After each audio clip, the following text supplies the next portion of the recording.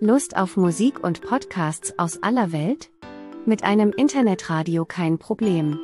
Ins Netz geht es bequem per WLAN, Unterschiede gibt es beim Klang. Wir zeigen Ihnen die derzeit besten Internetradios am Markt. Dafür haben wir Tests und Meinungen ausgewertet und zu einer Gesamtnote verrechnet.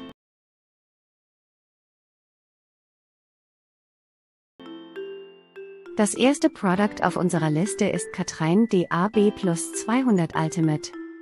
Ein Stereo-Cinch-Eingang wäre noch schön gewesen, aber ansonsten scheint das Radio Katrein DAB Plus 200 Ultimate im Grunde komplett ausgestattet zu sein. Vom UKW-Radio und dem CD-Spieler bis hin zu diversen Streaming-Funktionen und der großen Auswahl an digitalen Radioprogrammen via Antenne oder Internet lässt sich alles abspielen. Dazu kann natürlich auch das Smartphone per Bluetooth genutzt werden. Interessant sind die Aufnahmefunktionen. SD-Kartenslot und USB-Anschluss können sowohl zum Abspielen als auch zur Aufnahme der Inhalte einer CD oder des Radioprogramms genutzt werden. Die Anschlüsse erlauben die Einbindung zusätzlicher Geräte. Zudem gibt es einen Kopfhöreranschluss und einen digitalen Ausgang, um das Radio auch an einer großen Anlage mit höchster Übertragungsqualität zu nutzen. Nur das kleine Display wirkt etwas zu sparsam, zumal ausreichend Platz für ein größeres gewesen wäre. Auch die Preisempfehlung von knapp unter 1000 Euro klingt in jedem Fall hoch, wobei die technische Ausstattung mindestens beeindruckend ist. Der nächste Produkt auf unserer Liste ist Löwe Klang S3. Reduziert, stilvoll, elegant, ein echter Augenschmeichler. Durchweg stimmig findet der Redakteur von light-magazin.de das Design des Klang S3, dem Löwe ein sanft gerundetes Gehäuse aus massivem Aluminium, eine schicke Frontbespannung aus Textil, ein bündig eingelassenes Farbdisplay und nicht minder hochwertige Bedienelemente spendiert hat. Selbst die Fernbedienung wirkt sehr edel. An Wiedergabemöglichkeiten scheitert es auch nicht. Zur Auswahl stehen analoge und digitale Radiosender, CDs, MP3-Dateien vom USB-Speicher, Musik von einer Bluetooth-Quelle, Podcasts, Webradio und Streamingdienste. Volles Programm also, dennoch bleibt das Designstück einfach bedienbar. Im abschließenden Hörtest kann Löwe erneut auftrumpfen, das S3 klingt glasklar und eher warm abgestimmt. Es begeistert mit kräftigen Bässen, toller Dynamik und einer erstaunlich breiten Bühne. In Summe, so urteilt man im Test, würde das den hohen Preis von 679 Euro rechtfertigen. Der nächste Produkt in unserer Liste ist Sonoro Audio Primus. Wer kann, der kann, in dem edlen 45 x 25,8 x 15,5 cm BXTXH großen Gehäuse steckt allerhand Technik für einen optimalen Klang.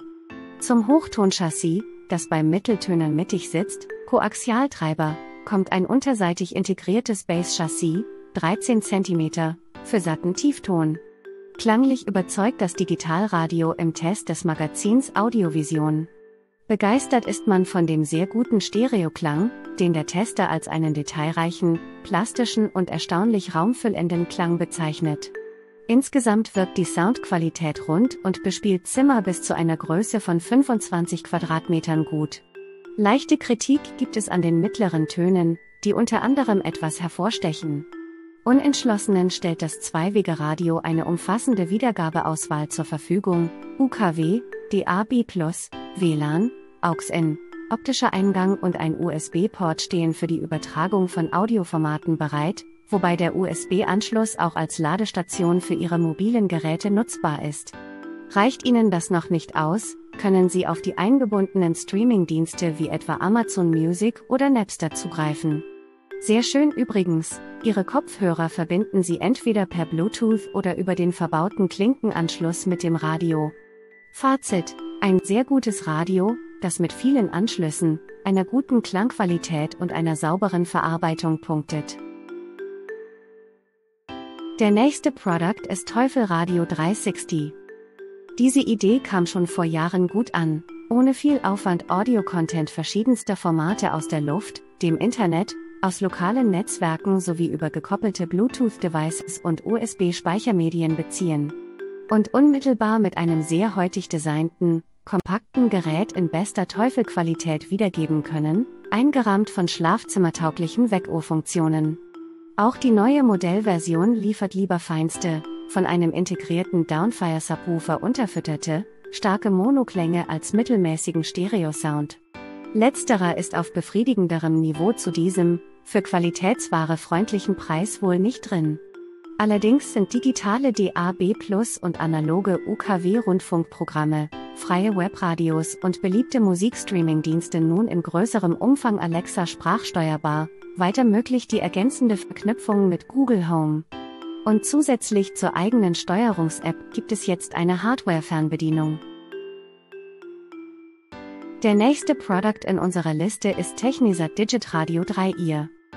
Mit dem Digitradio 3 Ear kommt ein Multitalent ins Haus. Das Gerät empfängt DAB Plus und UKW-Sender, streamt Radioprogramme, Podcasts und Musik aus dem Internet, spielt Audio- und MP3-CDs, wirft einen AUX-Eingang, einen USB-Port zur MP3-Wiedergabe und obendrein Bluetooth in die Waagschale.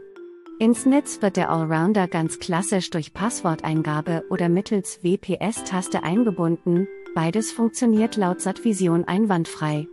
Auch die tägliche Steuerung geht leicht von der Hand, vor allem mit der beiliegenden Infrarotfernbedienung. Wer bequem nach Websendern und Podcasts suchen will, nutzt die Technisat App Connect. Akustisch setzt das Radio zum Höhenflug an. Im Soundcheck ist die Rede von einem äußerst klaren, unverzerrten Klangbild mit detaillierten Höhen und präsenten Mitten. Erstaunlich auch der Bassbereich, den die Redaktion als beeindruckend tief und wuchtig beschreibt. Die geforderte Summe, derzeit werden 250 Euro fällig, ist somit vollkommen angemessen. Der nächste Produkt ist Hamadir 355BT. Mit dem Zugang vom WLAN stehen zusätzliche Möglichkeiten bereit. Neben dem Empfang via UKW und DAB Plus können Sie so auf ein fast unüberschaubares Angebot an Radioprogrammen über Internet zugreifen. Damit das dennoch recht übersichtlich gelingt, kann neben dem Farbdisplay auch das Smartphone für die Steuerung eingesetzt werden. Die verwendete Undock-App wird von einer ganzen Reihe von Geräten unterstützt. Durch die spezielle Konstruktion als Unterbauradio nimmt es in der Küche eine Arbeitsfläche in Anspruch. Auch das Fehlen weiterer Anschlüsse wie USB oder SD-Kartenslot ist in der Küche zu verzeihen. Immerhin sorgt Bluetooth für weitere Abspielmöglichkeiten. Nur der Preis wirkt recht hoch, da etwa das Albrecht Dr. 884 in normaler Bauform nur 100 Euro kostet. Der nächste Produkt in unserer Liste ist Technisat Digitradio 371 CDI. Für rund 170 Euro erweist sich das Technisat Digitradio 371 CDI als Multitalent. Sie bekommen die komplette Armada an Musikwiedergabeoptionen, angefangen von Tonern für UKW und DAB Plus Radio über ein MP3-fähiges CD-Laufwerk bis hin zu Bluetooth und WLAN zur Netzwerkeinbindung. Abgerundet wird das Paket von einer AUX und einer USB-Buchse, wobei letztere als Powerbank dient, zum Beispiel für Smartphone. Steuern lässt sich die Anlage über eine gut strukturierte Fernbedienung inklusive 10 Direktwahltasten für gespeicherte Sender, alternativ können Sie das Ganze auch über eine App namens Technisat Connect erledigen. Zum Klang wiederum gibt es bisher noch kein Feedback. Rein formal klingt die Power des Stereoboxensets mit 10 Watt jedoch eher überschaubar, außerdem stehen zur Soundanpassung lediglich vordefinierte Presets, aber kein frei programmierbarer Equalizer bereit. Fazit, die Ausstattung stimmt, die Qualität im Praxiseinsatz muss sich noch zeigen. Der nächste Produkt ist Löwe Klang S1. Das der in zwei Farbversionen erhältliche, kompakte Stereo-Audio-Entertainer fantastisch klingen muss, sieht man ihm eigentlich sofort an. Weltberühmt die Designtradition, welcher die Gehäusegestalter gefolgt sind. Zu deren Philosophie es gehört, jenes Leistungsversprechen einzuhalten, das quasi via Ästhetik abgegeben wird. Was mit der, auch über Haptik vermittelten, Fertigungsqualität anfängt, die tatsächlich begeistert. Bei der Bedienung helfen das sehr hübsche Display und eine spezielle Löwe-Radio-App.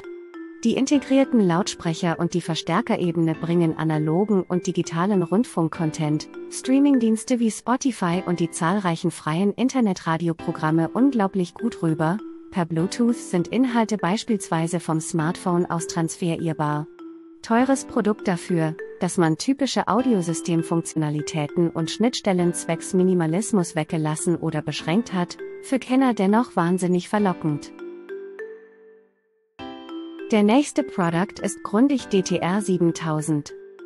Einen großen Spielraum für die Wiedergabe ihrer Musik und ein sauberer Klang sind nur zwei Punkte, mit denen das Mittelklasse-Radio von Grundig punktet. Im Test von Digitalfernsehen überzeugt die Soundqualität mit einem anständigen Volumen.